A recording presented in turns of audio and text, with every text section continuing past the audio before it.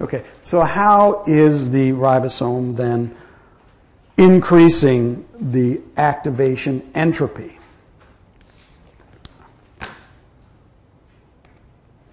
Okay, well, so this uh, slide here attempts to illustrate what's going on. It's the idea that the ribosome is an entropy trap. In particular, the idea is that the ribosome traps the substrates in a low entropy conformation. Okay, so here is, so you can think of A as, say, the peptidyl tRNA, and B is the amino acyl tRNA. These are the two reactants in peptide bond formation, and this is the uncatalyzed reaction. In the uncatalyzed reaction, then the two reactants are you know, free to diffuse about and to tumble around. And so they have lots of uh, rotational and translational freedom. However, in the transition state, when a bond begins to form between the two reactants, now the two reactants are no longer independent of one another. And so there's less, there are fewer degrees of freedom, fewer, less ability to rotate or, tra- or move about. Okay? So less rotational and translational freedom. In other words, less entropy. So uh, in the uncatalyzed reaction, then formation of the transition state is associated with a negative entropy change. Okay, but uh, let's imagine what happens when those two uh, tRNA species uh, are bound in the peptidyltransferase active site.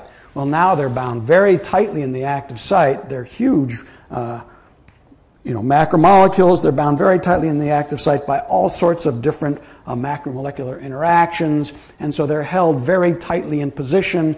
They have very little freedom to move about. They can't move independently of one another, and so they have a very, and so they're trapped in a very low entropy state. Okay.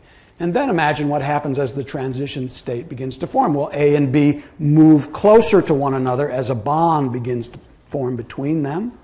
And this frees up a little space here in the active site. And so now they've gained some ability to move around. Okay? And so now uh, we, formation of the transition state actually results in at least a modest increase in entropy. Okay? So uh, this idea of an entropy trap has its limits, right? Because note that uh, here, when we bind the reactants in the active site, that's associated with a big loss of entropy. If this uh, binding entropy is too negative, binding won't occur. Right? Binding would never occur, and therefore uh, that puts a limit on the extent of rate enhancement you can achieve through an entropy trap.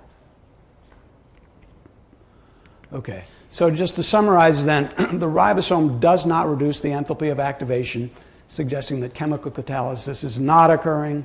The ribosome catalyzes peptide bond formation by increasing the entropy of activation, suggesting that the ribosome rigidly binds its substrates, trapping them in a low entropy state. Entropy trapping can only yield a modest rate acceleration. In the case of peptide bond formation, this seems to be good enough. Okay.